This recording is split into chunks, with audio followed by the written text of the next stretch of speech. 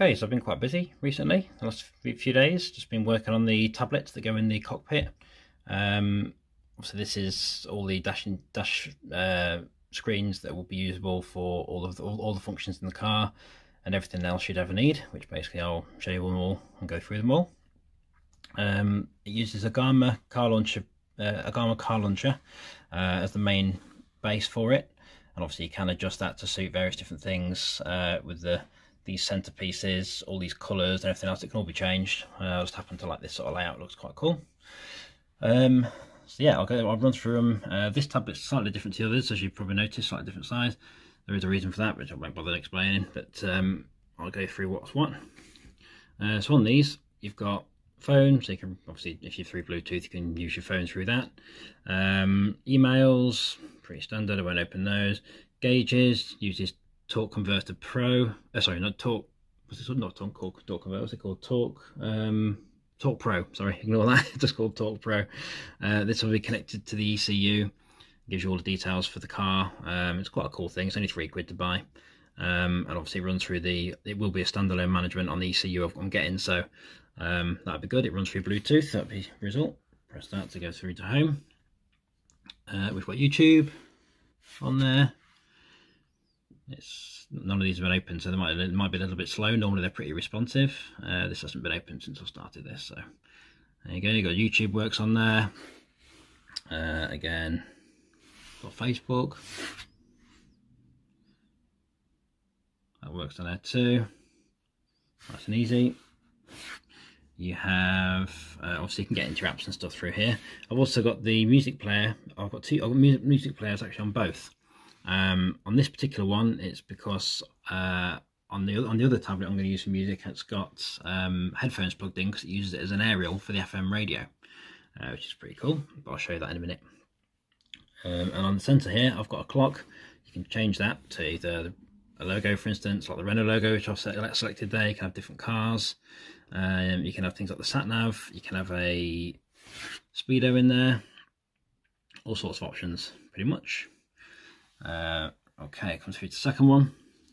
So this is one of the ones that you that runs the Bluetooth relays that a lot of people have been asking me about. Uh, so all the all the car functions, like if you've seen any other videos, um, the car functions like wipers. Um, well, on this particular one, actually, this is the main one. So this is going to be uh, start, ignition, fuel pump, those sort of things. Basically, all the alternator, they'll all be on there. Um, SatNav, SatNav actually works through the centre here as well, so I've got it set up for that. Um, so you've got, whenever you select a route in Google Maps, which obviously is in there, which uh, you do have to have GPS signal, which I probably won't have in here at the moment, but there you go. But obviously you've got Google Maps on there, which is perfectly fine. Um, obviously the good thing is about having all three screens, you can have different things on each one at each at any one time, which is pretty pretty cool. Um, come out of there but if you do select a route that will come up in 3D on there as well which is nice. Um, we have a I should I put I put the speeder on didn't I, I did that. Um, got obviously got the internet. I've also got a traffic program on here for any traffic. Uh, I, thought I may as well put that in the sat nav one. It's run by Inrix which are pretty good. Anyway they're on a lot of manufacturer um, sat navs. And this basically gives you a nice view. Obviously, everywhere, everywhere's green at the moment. Good old Corona and the traffic on the roads, uh, but it tells you all the road closures, any any red bits and stuff. It's all live as well, so it's literally bang up to date, and it's probably the best traffic app I've used apart from Google Maps, which is another good one, obviously. There you are. Ooh, what's that? There you go. I think I'm trying to change something. Okay, uh, obviously you can get on the internet through Google Chrome on there as well. Nice and straightforward. I'll say some of the most of these haven't been open. These tablets only just been turned on, so that's why it's a bit slow. But normally it would be quite quick. So if I went from there, for instance, that's now in there. If I now go into it again, it's responsive. So you can see how that works. Okay, third one. Uh, this one's got the car functions extra, which is what I mentioned earlier. Um, you've got things like the wipers, headlights, interior lights, uh, all that sort of stuff basically will be run on that through Bluetooth relays again.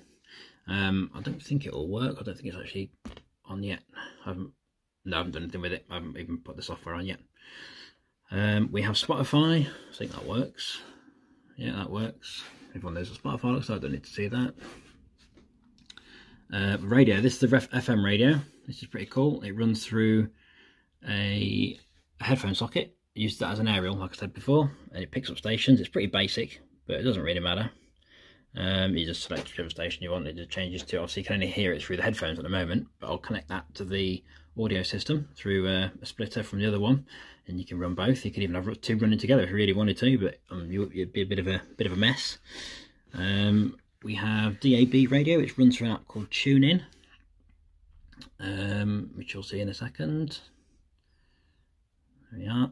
That gives you all the DAB stations.